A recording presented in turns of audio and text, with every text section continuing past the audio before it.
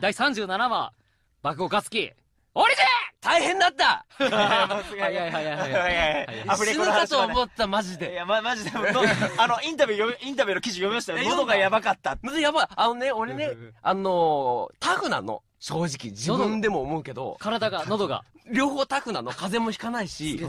もうなんか、寝なくても割と大丈夫だし、まあ寝てもいいんだけど、まあどっちでもいいっていうかいや、もう本当に何でもいいんだけど、この人体力バカというか、体力を感じない体なんだろうかっていういやか。本当本当そうですよねいやスケジュールしやばいもんサイボーグとも言われいや、た本し、当に。機械なんでしょって言われたこともあるぐらいタフだと思うんだけど、さすがに疲れて、おこの収録の時。いや、でも確かに、かっちゃん自体が、うんそういう、もう本当絶対疲れるようなキャラクターじゃないですか。疲れた。その、うん、疲れるよね。通常でも、すげえ張る、疲れそうなキャラクターを、しかも、100%以上のパそうワーで、やんなきゃいけない。成立しないじゃん？だって最いつも100%みたいに聞こえるから、そう最初からだってもう今回の場合はちょっとこう気立ってるという気立ってるって日本語合ってます？